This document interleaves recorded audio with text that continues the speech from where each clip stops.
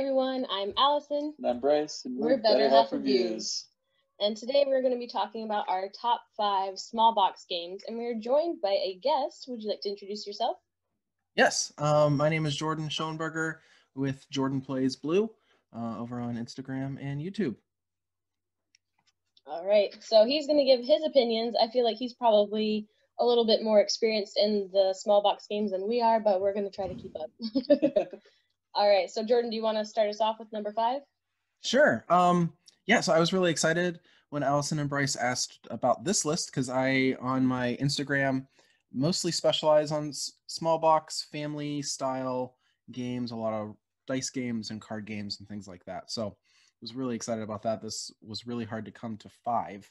So I kind of went through my most recent top 100 games, and this is what I came up with. So, number five, I have um, a game by AEG called Point Salad, which is a card game that has multi use cards. You have the front and back card of the cards that you're using separately. The backs of the cards are used for scoring, the front of the cards you use as the vegetable, and it's kind of a set collection game. So, some of them, some cards are going to give you points for having different kinds of vegetables. Sometimes they only want you to have certain kind, a certain type of vegetable, and plays really quickly. And I love it. You play it. You usually play it like a couple times in a row. It's not usually a one-off kind of game. So that's Point Salad. That's a solid choice. Um, and I agree with you there. Like you usually play it a couple times at least, especially if you lose the first game, right, Bryce? yep. I always have to get get revenge.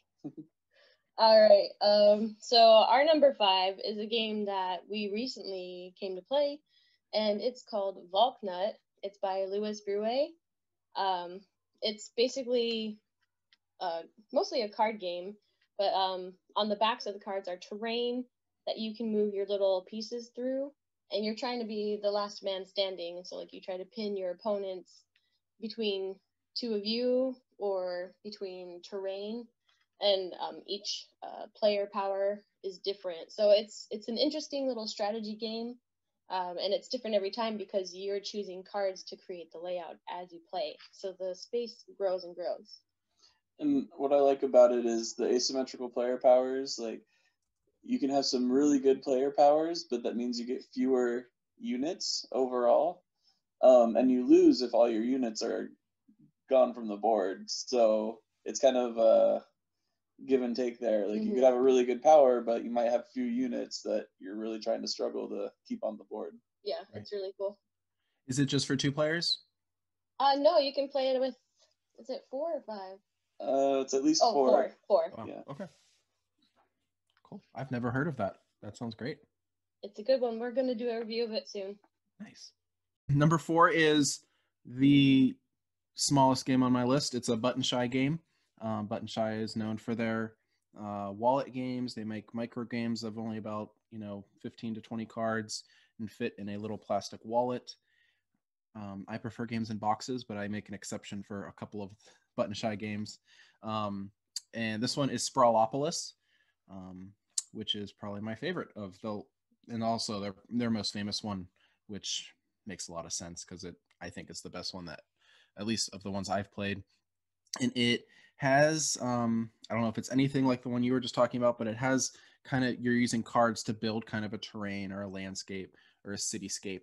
Um, and at the beginning of the game, you flip over three of the cards, and they're going to have scoring objectives on them. And then as you're playing the game, you just kind of take one card, add it to this cityscape. You're trying to maybe cover over certain city blocks. You're trying to score points based off of where they are. Really quick, really hard. Like it is a really hard game to do well. You, I lost so many times before I finally won one. Um, there's different rules to kind of crank it up, and I never play with the additional rules. I always stay stay on the low lot line, and I'm still not winning every time. So you can play it cooperatively or solo. I usually play it solo. I think it makes the most sense that way. But yeah, that's Sprawlopolis. I've heard of it, but we haven't actually tried any of the button shy games yet.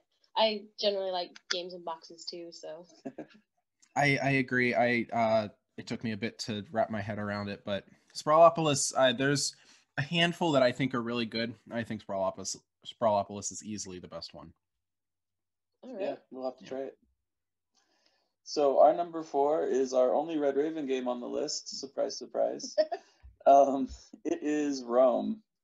So Roam is a smaller game where you have a set of six cards, and you're trying to um, play different cards from your hand that have different patterns, and you um, take control of the different areas on the cards that are on the table.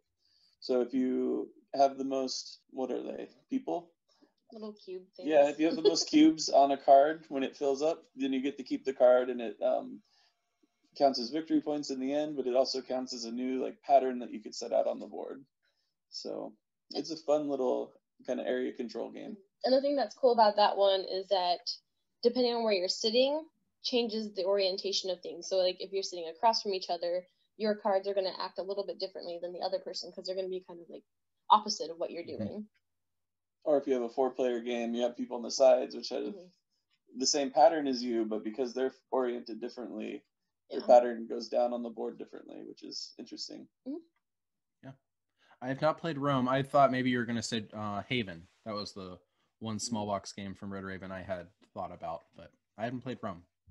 I thought about that one. It's in a slightly larger box, so I didn't. Yeah. I didn't, I didn't pick it. I think that's yeah, that's fair. so on to number three. Number three. Um, this is uh, looking at it. This is surprisingly the only roll and write on my list. I love roll and write games. They um, surprisingly this is the the top one on here. Um, it is if I'm looking at the rest of mine. This is my favorite roll and write game. One of my favorite. I don't know which. I think it's up there. um, um, and that's Railroad Ink. Uh, this is a uh, route building roll and write game. You roll dice to um, all the dice have different rail patterns on them, kind of like T's and straights and curves, and they're going to have highways and railroads intersecting or one or the other. And you roll the dice and you put them out on your board.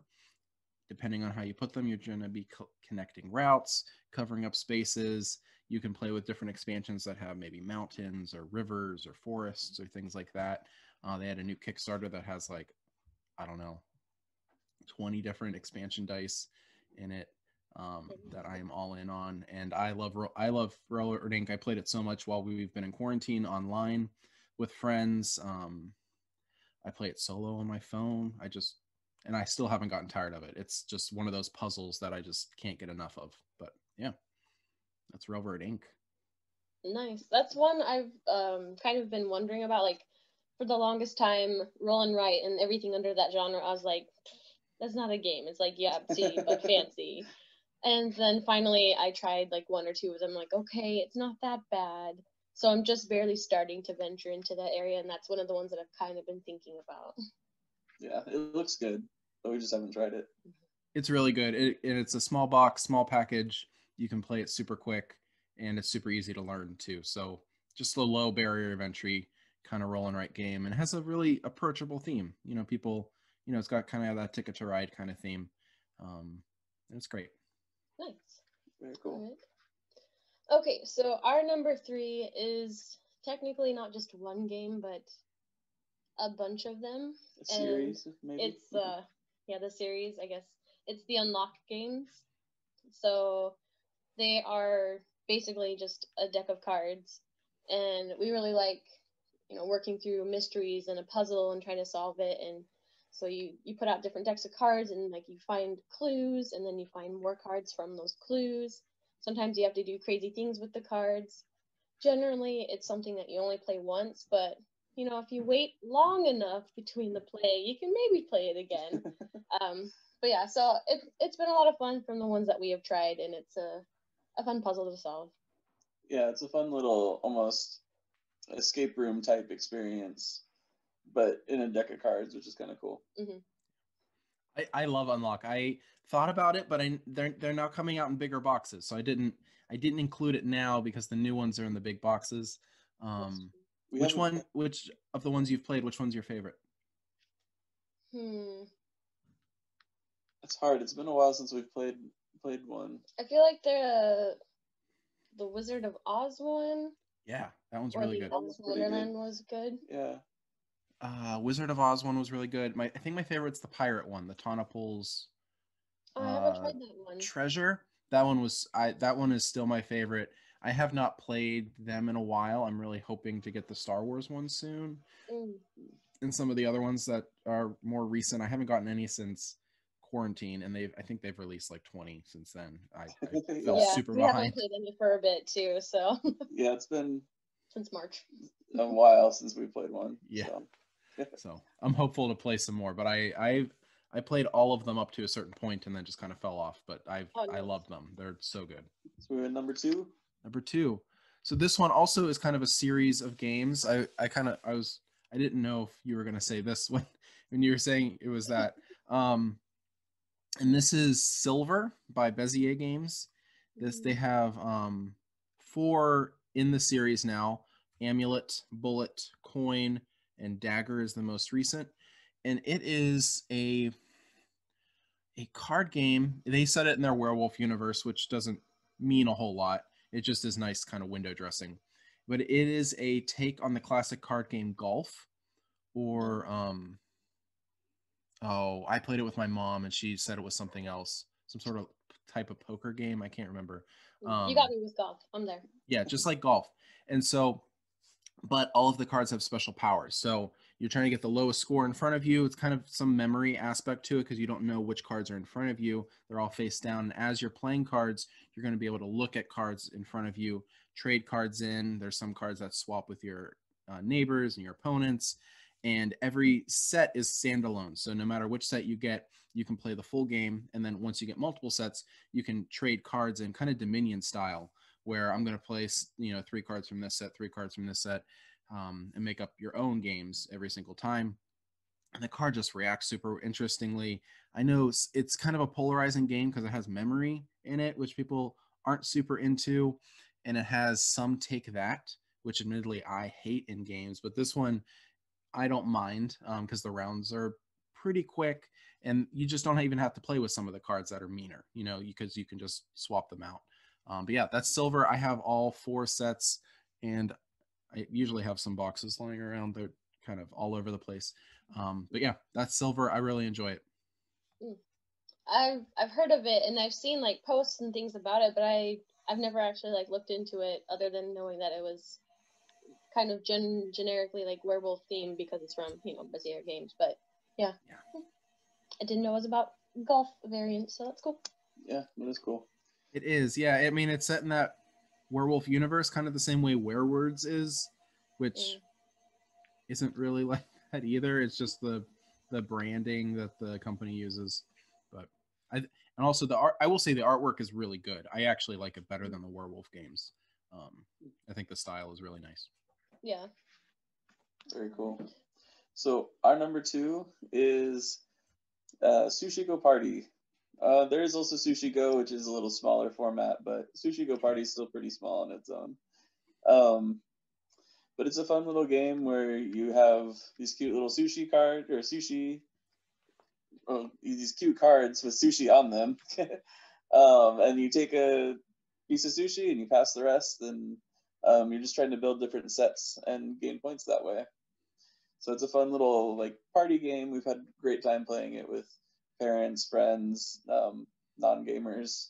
It's the All only type of it. sushi that I'll go for. I'm not a fan of sushi, like real sushi, and so um, kind of jokingly for uh, Father's Day, I was like, I got you something that you'll really like. It's sushi. It's in the fridge. I put Sushi Go Party in the fridge.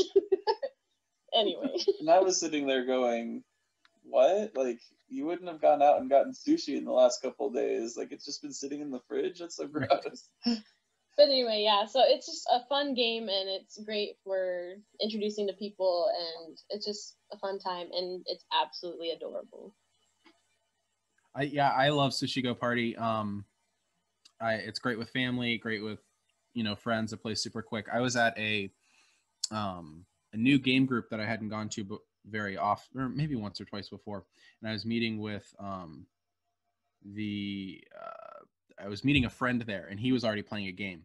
So some people waved me over, thinking I was brand new, didn't know anything about it, and they're like, "We're gonna play this game. It's not very hard. You'll be able to pick it up really quick." And I was like, okay, okay. By the end of it, I was correcting their rules because they, you know, I, I've, I've, I'm very well aware of Sushi Go Party and the other games that were having happening there. So So at the end of that, where you're like, and by the way, if you want any more information about other games, here's my uh, channel. And... by the way, here's my card. Um, nice. That's awesome. You should have put money on the game. Be like, okay, should've. this is my first time, so should've. let's see if I have beginner's luck. Have you guys ever tried Scythe? I've heard it's like really popular. You want to try it? right. Yeah. Be a shark. Shark at game nights. Yeah. Oh Um, man. All right. Awesome. So what's your number one? Number one. Is there like a gong or a bell we have to ring for? We just uh imitate Eric Summerer. Number, number one. one. Okay. Um, my number one is a game that came out last year at the very end of last year. Um, actually looked up online to see if I should put it on this year's my best of the year list because it came out so late last year. Um, that it didn't make my end of the year list last year because it had just come out. But um, this is a two player card game from Lookout Games called Mandala. Mm, Uh, this is a uh, the box is about the size of a Lost Cities box. It feels like one of those Kosmos two player games. Um, it is a card game. It, uh, you're playing back and forth. It has a really pretty cloth mat. It's not like a neoprene mat. It's not a board. It's a cloth mat, and you are playing cards on your side of the mat in these two sections of, of the of the play area and you're trying to get colors on each section. Once all six colors are represented on the section it's going to score and you draft the cards that were in the section and you get points based off of that. But it had the cards are really interesting because there's nothing on the cards except for a cut like the only piece of information on the cards is color so there's no numbers there's no suits there's no powers. It is just that. Square cards with a pretty picture on it and you're just calling them you know purple card black card yellow card orange card. And it has a couple things that i love in games. I love when there's player triggered scoring which doesn't happen a whole lot but it's like when you know scoring doesn't happen at the end of certain rounds or at a certain point or only at the end of the game scoring is happening once the players achieve something. So kind of like in Lost Cities, where you're kind of, you know, you know that when the game's going to end based off of when the deck runs out, and so you can you can, um, uh, you know, play off a little bit and uh, stall to do that. And so this game has a lot of that, and it also has kind of variable scoring, so that depending on which cards you get, each of those cards is going to score a different amount of points depending on when you draft them. So the car the first color that you draft for the rest of the game, any cards that you collect in that color is actually worth one point. The last color that you collect, all of the cards you collect in that color is worth six points. So you want to make sure that you're not getting all the, like certain colors at the beginning of the game because you know you want to score certain colors higher. It's so good, it's so thinky, and it does play pretty quick. So it's a game where you're playing with one person, you're like, all right, I lost. We're going to try it again. Okay, I lost. We're going to try it again. I'm going to get you this time. Two out of three, three out of four, you know, um, three out of five, whatever. It's so good. It's super pretty. And um, I think because of when it came out, it didn't get a whole lot of buzz, but I, it is in my top 10 favorite games right now. Uh, I have a friend and he and I have played it so many times. He comes over, he's like, let's play Mandala. I, he's like, let me borrow it. I want to play with my wife every time. And then I went over to his house. He's like, let's play Mandala. I'm like, okay. And we just kept playing it, and it's so good, so good. So you compared it, or you seem to be comparing it to Lost Cities. Is that a game where if you like Lost Cities, you should like Mandala? They are they they're very different. Like I own both, and I don't I don't think I think you can own both without any problem. But they are similar enough that I think they um they are comparable. Um, I think if you like one, you'll probably like the other. Um, honestly, Mandala might be a little easier to teach um, because there's l- less less information than Lost Cities. It might be harder to be good at it though. It kind of has that. It has kind of a classic abstract feel where it's like easy to learn, lifetime to master kind of thing. Um, but yeah, it's hard to hard to do well, but it's pretty easy to get into. Nice. Yeah. I don't think I've really heard much about it other than I've heard the name before, but I didn't know anything about the game. it's really good. I, you'll see me on like uh, the Dice Tower group or any board game groups, and they're like, "How about I?" I it's like one of my games where I'm like, "You have to check out Mandala. Like, check out Mandala. You need a two player game? Check out Mandala. Need a card game? Check out Mandala. You need a pretty game? Check out Man. Like, it is that game for me. Nice. All right. So our number one is actually a flip and write, which uh, you know how I said I don't really mm-hmm. go into that genre. Well, this is the one that broke it for us, and it is Cartographers.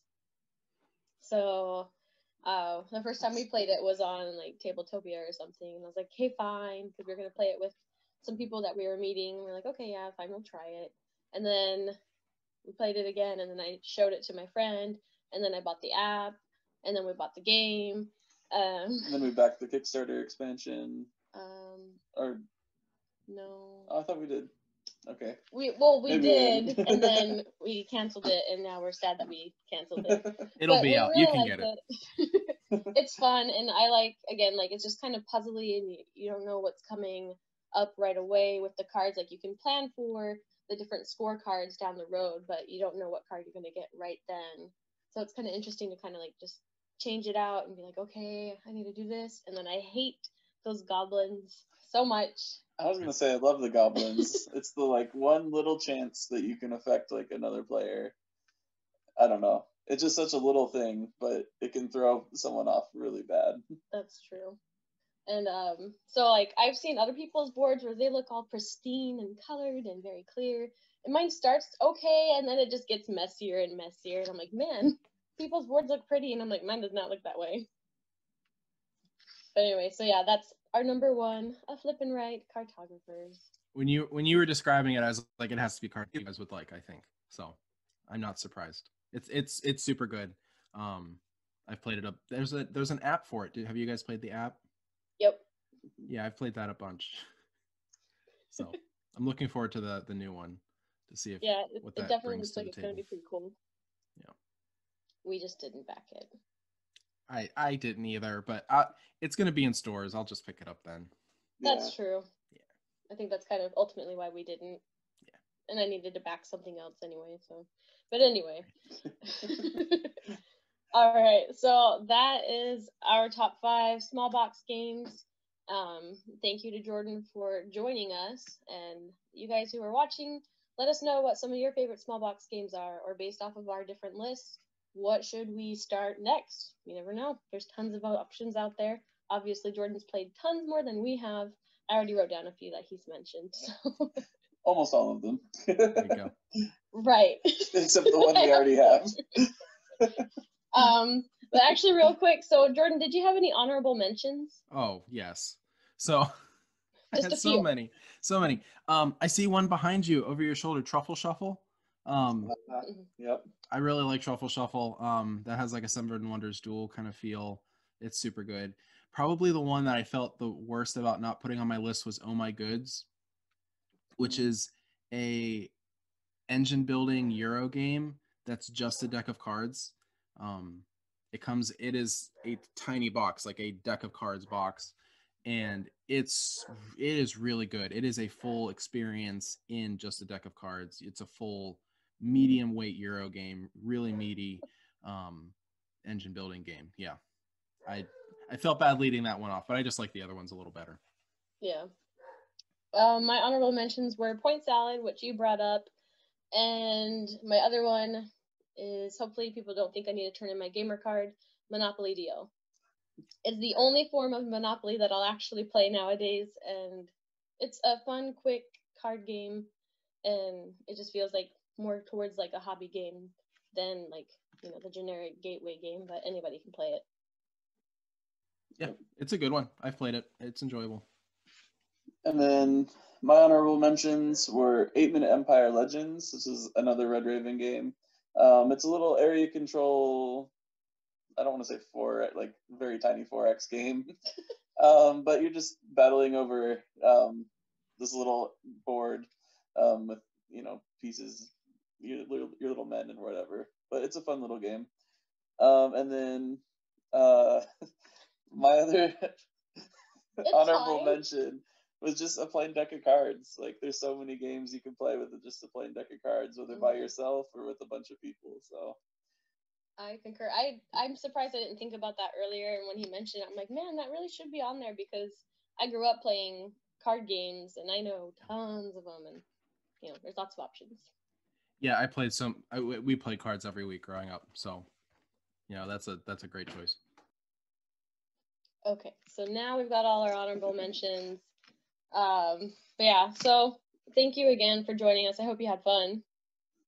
Yeah, this was a lot of fun. I love talking about board games. really?